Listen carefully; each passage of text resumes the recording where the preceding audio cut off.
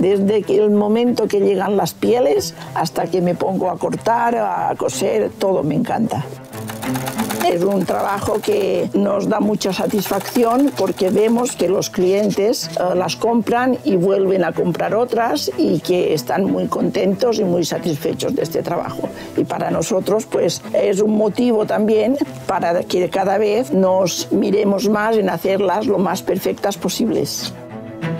Me llamo María Mira Zamora, siempre me han llamado Maruja. Mi profesión es del comercio de zapatos y además coso zapatos, que hacemos las porqueras mallorquinas.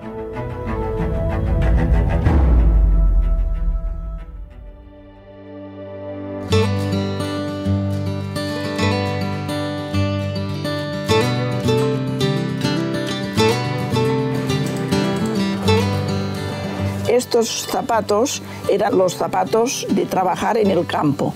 Se llaman porqueras porque era para guardar los cerdos, para trabajar en los olivares. Todavía los utilizan, no en estos colores, pero en negro o en azul marino o en marrón.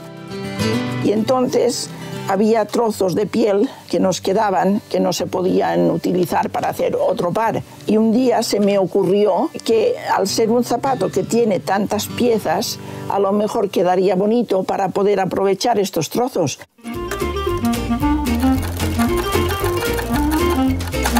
Y yo soy la encargada de cortar y de hacer eh, los cortes.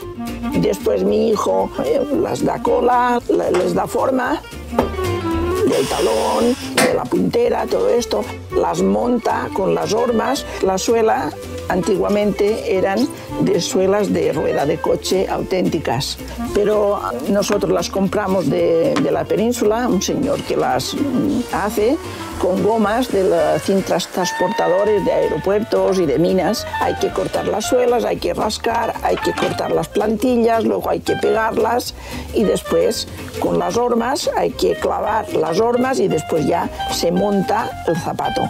Y una vez que el zapato está montado, después mi hermano normalmente es el que las cose y después entre los dos las terminan. Recortan todo lo que sobra y ponen los tacones y hacen los, los acabados.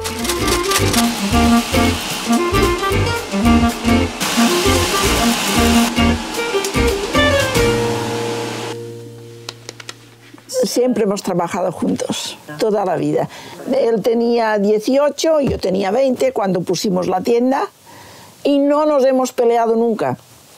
Hemos discutido a veces por alguna cosa, pero a los 10 minutos ya no ha pasado nada. O sea que, y además, eh, no hemos hecho nunca nada, uno o el otro, que no nos hayamos consultado sobre el trabajo y sobre cualquier cosa.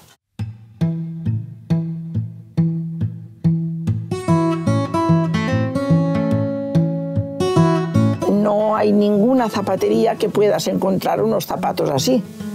Y entonces yo creo que es por eso que muchos clientes cuando vienen y ven este tipo de zapatos les, les hace gracia y los compran. Para verano, primavera y esto siempre las que son de lona y piel. Pero después también tenemos las que son todas de cuero, es la misma suela, reciclada, pero es todo piel. Estos normalmente se hacían también todos de un color y yo pues lo mismo, pensé las de piel, ¿por qué no hacerlas también en, un poco de colores? Se ha puesto muy de moda mucha gente casarse con estos zapatos y mucha gente para ir a bodas también han venido de muchos sitios a buscar los zapatos que combinen con la ropa que tienen que llevar y quedan muy muy chulos. Actualmente las vendemos a 68 euros, las de lona y piel. Muchos clientes alemanes nos han dicho, en Berlín menos de 150 euros no, no encontraríamos estos zapatos hechos a mano. Pero la gente está acostumbrada a, regatear, a pedir descuentos y no, no miran si es hecho a mano o si no es hecho a mano.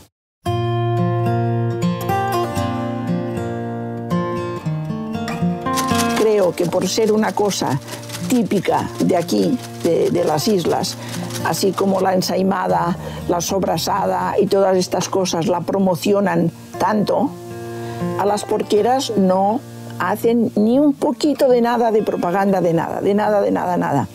No hemos tenido nunca ayuda de nada, ni reconocimiento de nada. Por ejemplo, la albarca menorquina sí que es muy popular, pero la porquera no.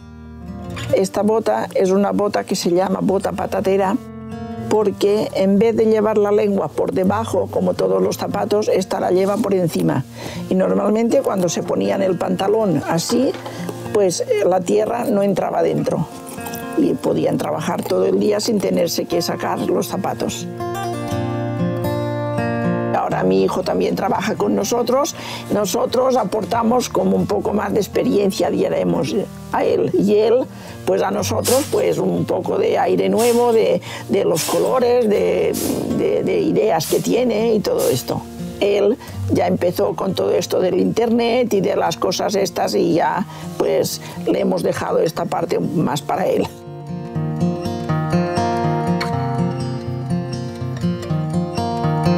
Estoy muy contenta que mi hijo quiera seguir eh, todo el trabajo que hemos hecho mi hermano y yo durante toda nuestra vida, porque si no fuera porque él eh, quiere seguir, esto se terminaría, se acabaría.